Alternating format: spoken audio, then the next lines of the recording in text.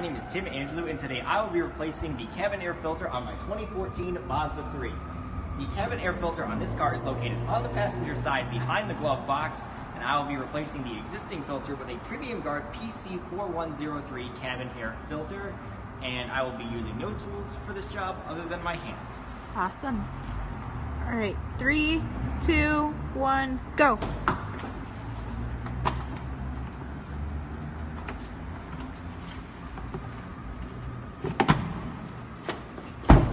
Yes, 943. What? Woo! All Okay, right, let's see it. Take a look at that. Okay. So, here's the existing factory style filter from the dealership, and that is all. You can see very clearly gunked up and needed to be changed. Mm-hmm.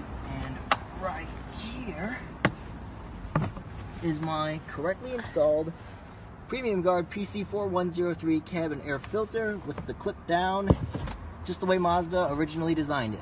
Perfect. All right. So, thanks for watching. Yay.